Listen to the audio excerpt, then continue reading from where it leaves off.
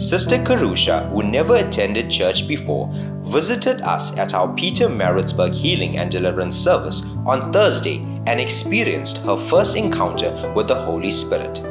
She had been blind in her right eye for the past three weeks. She had gone to three different specialists, but they could not diagnose the cause.